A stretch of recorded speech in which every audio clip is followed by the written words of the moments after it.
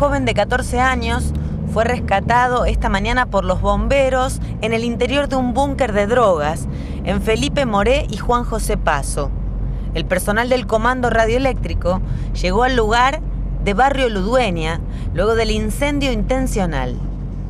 A las 5.30 horas aproximadamente ingresa un llamado donde se estaba incendiando un comercio, verdulería.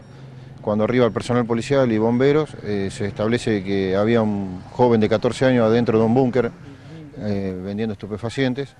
Eh, se lo rescata, se secuestra gran cantidad de estupefacientes y dinero y ahora fue trasladado todo el procedimiento a la sección de drogas de Rosario.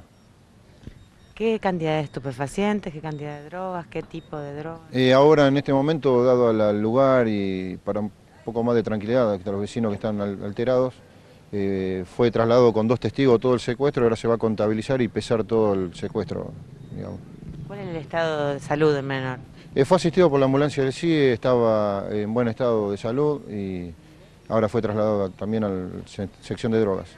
¿Qué se analiza? ¿Cómo, ¿Cómo se habría iniciado el incendio? ¿Fue intencional? ¿Hasta el momento es lo que se estima? Y a lo que se estima que es intencional, eh, bueno, eso parte de la investigación que va a tener que realizar la seccional de la zona y, otras dependencias. ¿Se resistía el joven a ser rescatado? No, no, para nada.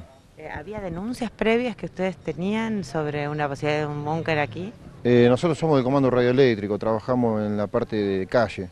esto, bueno, nosotros por ahí nos sorprende, algunos sí, otros no, a medida que vamos tomando conocimiento de búnker se van realizando notas de estilo, las cuales se van remitiendo inmediatamente a la sección de drogas.